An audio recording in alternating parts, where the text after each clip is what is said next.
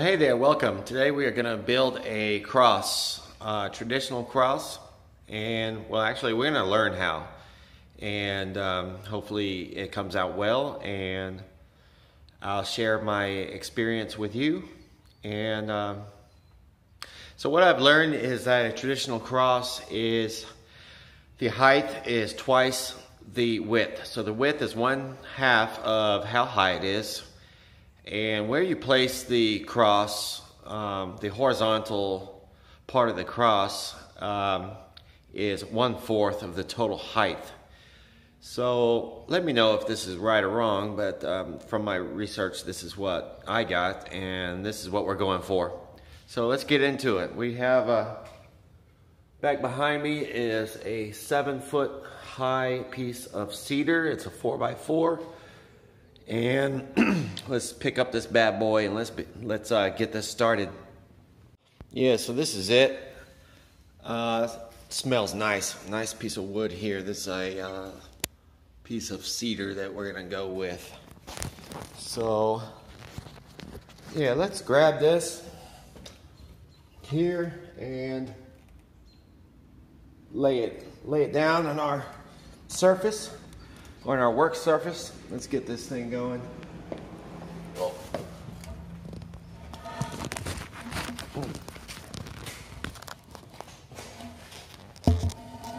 Okay, put this right here. Uh, there we are.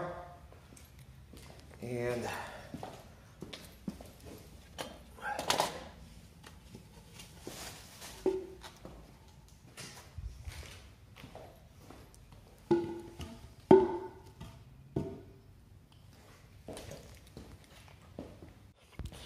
So what we're going to do first is measure the, the actual height of the cross. Um, I had this cut at Home Depot for me, which was makes the whole process a lot easier, both the height and the width. So we're going to measure it and make sure that it is true to what I uh, um, to the dimensions that I'm hoping to uh, to create here. So uh, let's measure this thing.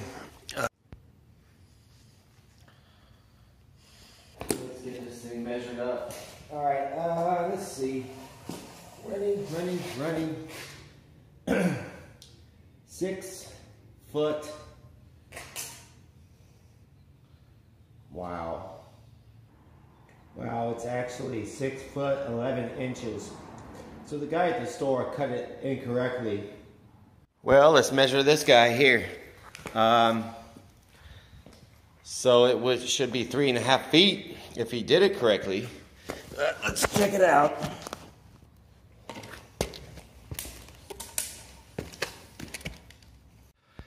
Yeah, so I'm not sure exactly how that happened, but the the employee at the Home Depot cut it incorrectly. So I asked for seven feet, and it's six foot eleven. So we'll just we'll just make some adjustments on our measure on our measurements. So, but the the the width is actually 3.5 or three foot six inches. So that's good. This is going to be perfect. So those are the dimensions basically. So height is twice the measurement of the width and you want to place the horizontal piece um, one fourth from the top. So let's get this thing started. Right, so this is 83 inches in height. Uh, so we're going to divide that by four. And so that is 20.75 or 20 and 3 fourths of an inch. So we're going to find that here and mark it with our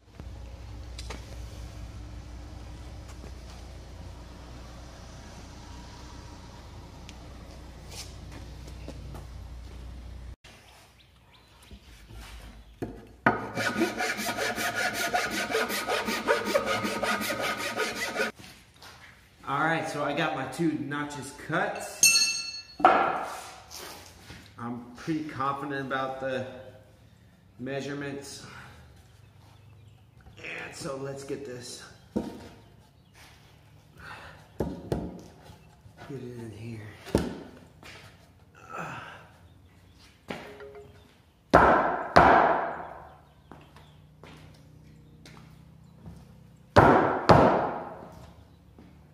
Wow, that's close. Wow, that's close. that's looking pretty close.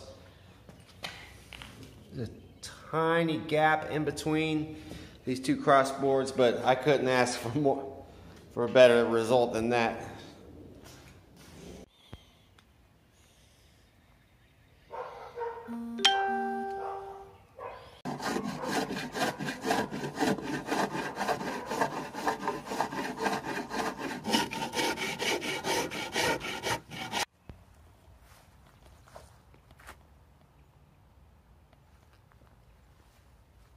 So guys, here's the finished, well it's not really finished, I'm going to put a stain on there and there's a slight gap in one of the areas here, you can see right here. I'm kind of disappointed in that, but overall I'm really happy with the turn, with the uh, outcome. Um, the cross, the proportions are accurate. Uh, the proportions look good. Here, let me go forward a little bit. Um, yeah, the proportions look great, and the crossboard is horizontal. It's so that's gonna that's gonna look real nice wherever it lands.